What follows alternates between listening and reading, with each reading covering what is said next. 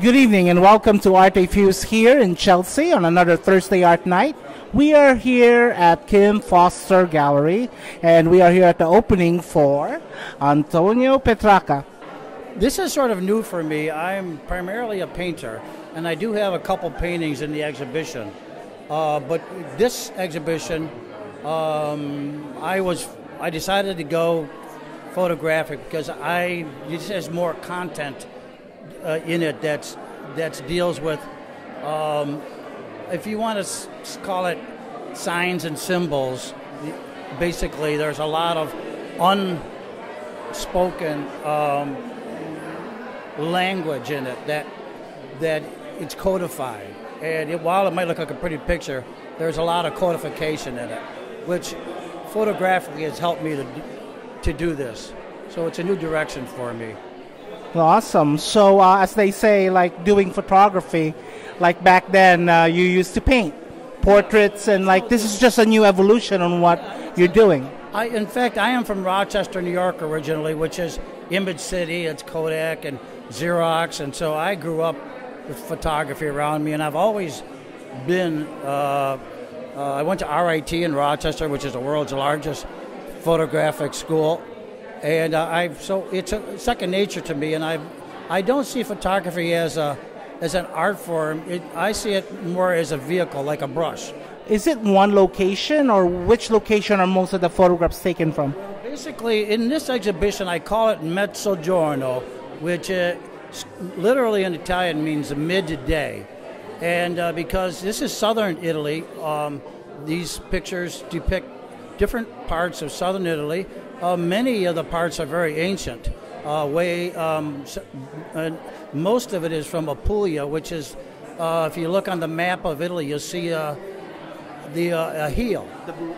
The boot. No, not the boot, but this is the, the heel, heel, of, the, of the boot, which is its own. It's a peninsula in itself. It's a peninsula on a peninsula. So it is.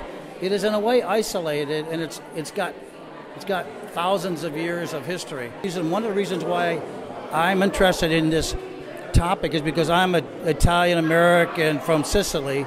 My father was born in Sicily, and I, uh, being a, an American of Italian extraction, there's a lot of uh, misunderstanding or misinterpretations of our culture in America.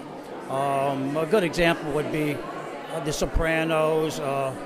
Stereotypes. Uh, stereotypes. And uh, these are, believe it or not, there's a lot of, uh, I deal with a lot of this stereotype in this work, like I have my other work. But it's harder to, it's, it's not in your face. I don't want to scare anybody away. But I am dealing with the issue here in this work. Uh, for example, you have this beautiful um, ancient scenery, edge of an ancient town, and then you have this individual slouching over this railing, this this stone railing that's been there for centuries. He's a he's obviously he he's either drunk or he's sleeping, or he's taking a picture. He's uh, like being a tourist, and he's taking a picture. He's got him. He's got his body down. He's going like this. Like I've done this myself. So the question is, who? What is he? But he does fit into. Maybe if you see this, you might think uh, he's he's taking a nap. It's midday. He's an Italian, you know that. But in reality, who takes a nap on a ledge in midday? So it's that question. So I'm dealing with many different levels of interpretation in this work. Um, but the, you can also love it because it's a beautiful. They're beautiful as well. That's that's the, the choice of the person. In fact, um, I'm more interested in questions than answers. I've always I feel that's a better for me, it's more relevant to to. Um, I don't think people need answers.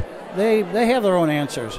I, I'd rather give them questions and let them think about it for themselves. You know what they what their response, what they feel, what they get out of it. But I do try to set it up so there are questions there for them to think about.